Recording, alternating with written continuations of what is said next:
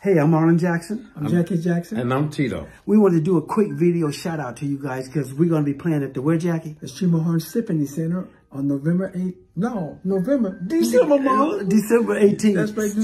December. Right there in Nashville. So That's right. come see us. We're going to have a Jackson party. We're going to be doing all our records like what, Jackie? I want you back. ABC, can you feel? Hi, guys.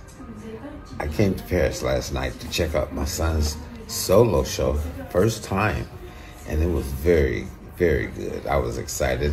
He told stories about his family's history, told stories about me and uh, his brothers. Uh, Everybody calls you Tito Jackson, but Tito is not your real name. It's your nickname. No, it's a nickname. I was born as Toriano.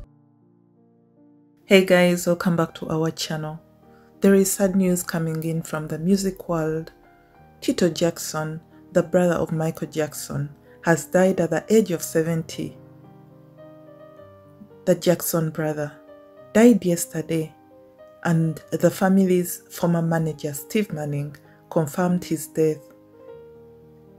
According to him, the Jackson 5 star died as a result of a heart attack. However, this has not yet been officially confirmed.